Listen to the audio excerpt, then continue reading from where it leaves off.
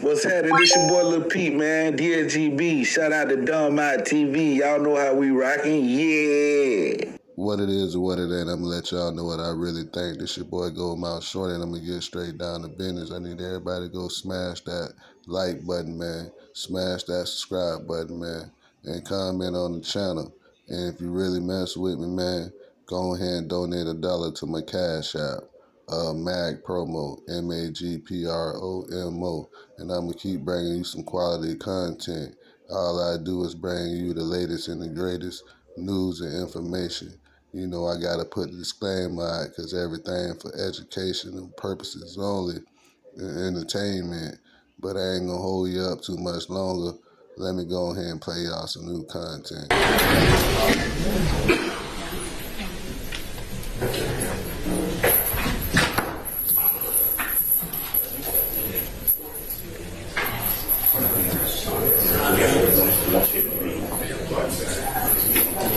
Can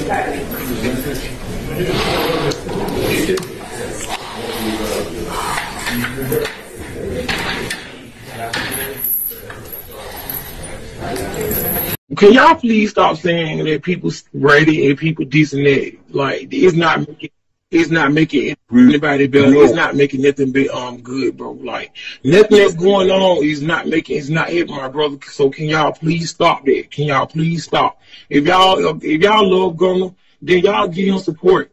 Like what the fuck y'all over there doing? Y'all tripping. It'd be the internet for me. And no, I haven't posted him because I was just told that nobody really supposed to have communications with each other right now. So I don't want to mess up his his um shit. So why would I just go and post it? You know, like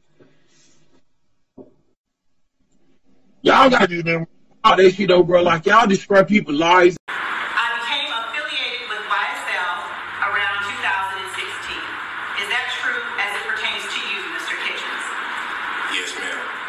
YSL is a music label and a game, and you have personal knowledge that members or associates of YSL have committed crimes in furtherance of the game.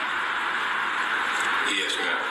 You were present when law enforcement officers stopped a vehicle in which you were present along with, along with Jeffery Williams, wherein hydrocodone, methamphetamines, and a firearm were recovered. These items did not belong. Yes, ma'am. And do you acknowledge the following statement?